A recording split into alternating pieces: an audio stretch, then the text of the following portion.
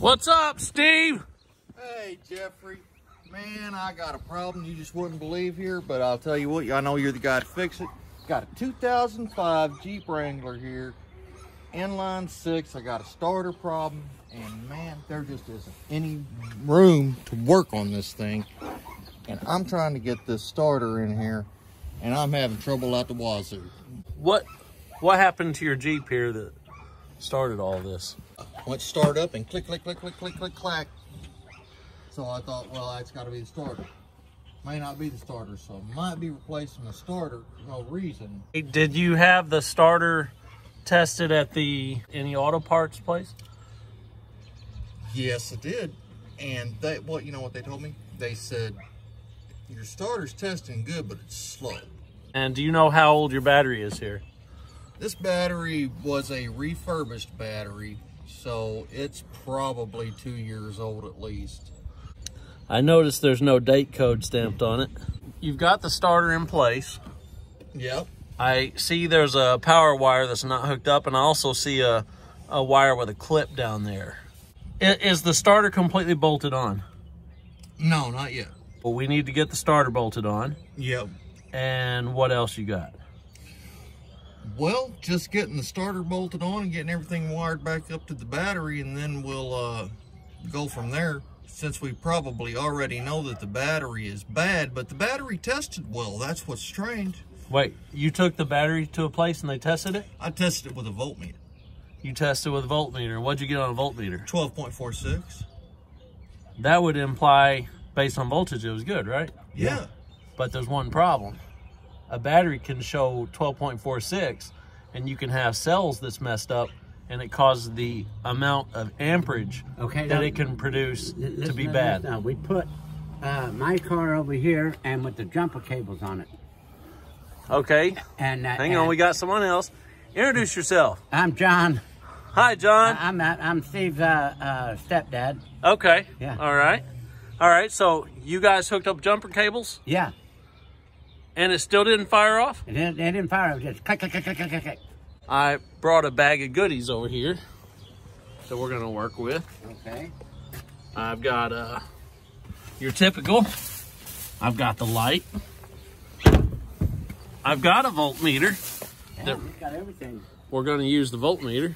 Okay. We're going to check that, but there can be other problems. Last but not least, we brought a little jump starter. All right. Okay. Okay. And I And I see I see you have some tools here. All we're going to test it. Yep. Are See you what got. ready? Yeah, see what you All got. right, let's see what we got here. You have 12.8 volts, which that looks really good. We'll wire up your starter and go from there.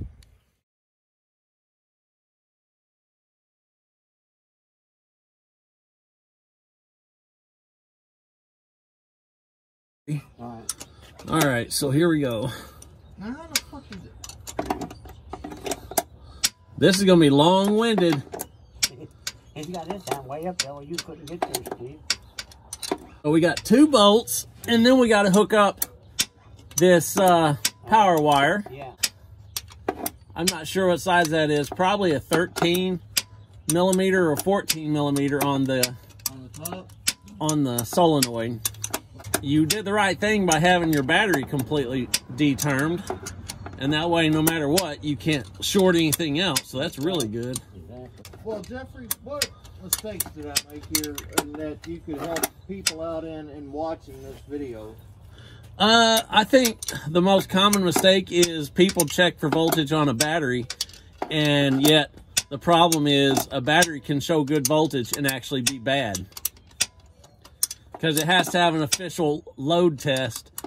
And usually, auto parts stores or battery stores will have a load test, like O'Reilly's, AutoZone, Napa. All those places will hook up a load tester to your battery, and they'll actually do a live test. Walmart even does a load test for you. Now, for somebody doing this job, uh, what advice would you give them? What Uh, tools would you advise that they have? I mean, it looks like a set like you have is just fine. You have everything you need. Just a lot of patience Yeah. ready to turn the Uh, always test your battery first because they don't charge anything to test the battery. It's free. All free. All right, let's see what size this is. Okay, so that's like a 14 or something of that, right around there. I'm just torquing this down now. That's 13. It's a 13? Okay. Absolutely. This guy can do anything. So we got to remove this right here. And this is your power wire from your battery. Mm-hmm. And then it's got a lock nut right here behind it. So we got to put that like that. Put the lock nut back on Help you, but and then put the the bolt back on. Now this is where if you make the mistake of not unhooking your battery, Yeah. If you did this and touch your exhaust yeah. or your engine. You're gonna have a sparking adventure. But the battery's unhooked, so we don't have to worry about it. I'll tell you a story about me and this guy once. We were up, uh, took me up there with him one day back in my way early days. Hook up the solenoid. and uh,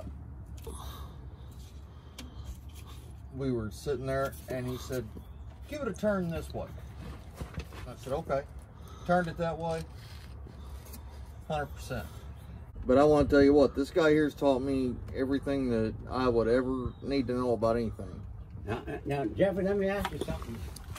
Uh, now, on that solenoid, does it have to kick in real fast uh, in order for that solenoid to be that starter to be good, or does it, ki- if it kicks in real slow, then what?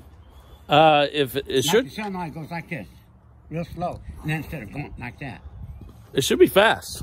Yeah, that's what. That's where they proved that it was wrong. The se- the starter was bad. Oh, okay, that's the Bendix. Yeah, So you have your starter and you have your Bendix. Yeah. The Bendix is what shoots it. yeah, that's right. Now, Yeah, if, if that was getting stuck. that was slow. that's what very they say was sticky Oh, Yeah, well, maybe it's not your battery if that's the case. Yeah, that, that's that, Which I wish I had that on video because that was important information right there. Yeah. that that Oh, I did it, know. it was I, I, it was on video, but Yeah.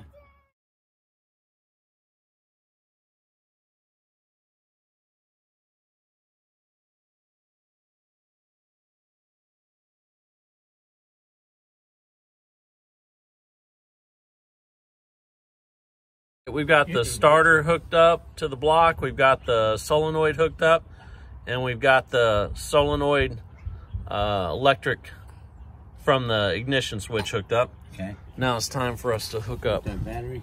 the battery. Yeah. Now this one I notice has a little bit. It's kind of over clamped. Check right there Fine.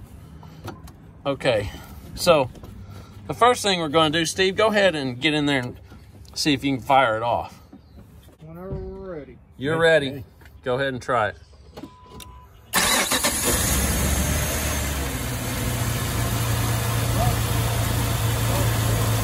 All right, we have to tighten this I positive. I got him one of those for Christmas, and I got me one for Christmas. All right, that was 10 millimeter. Now we need a 12 millimeter for this one. And this is the negative. So if you touch anything with a negative, it's okay because you're not going to short anything out. Yeah.